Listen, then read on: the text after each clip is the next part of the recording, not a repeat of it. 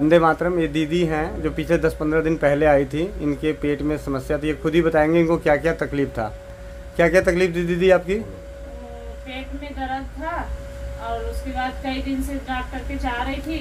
एक बार गई सात आठ हज़ार लग गए, एक बार गई दस हज़ार तक लग गए। कोई फ़ायदा ही नहीं हुआ।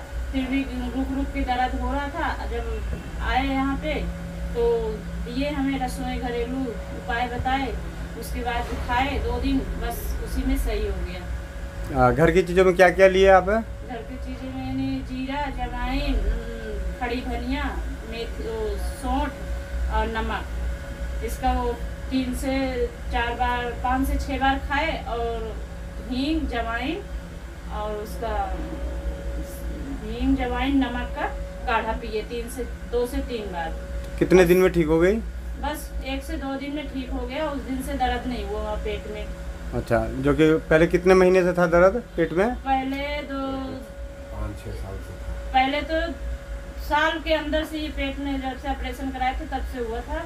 हम्म। उसके बाद से नहीं नहीं हो रहा था पहले। किस चीज़ का ऑपरेशन कराए थे? नसबंदी बच्चे मतलब होने का। अच्छा तो उसकी वजह से पेट में दर्द चालू हो गया था? हाँ, उसके बाद से हो गया अच्छा उससे पहले पेट में दर्द नहीं था। कितनी उम्र है आपकी? हमारी होगी तीस। ठीक है। वंदे मातरम बहुत बहुत धन्यवाद जो आपने अपना अनुभव शेयर किया।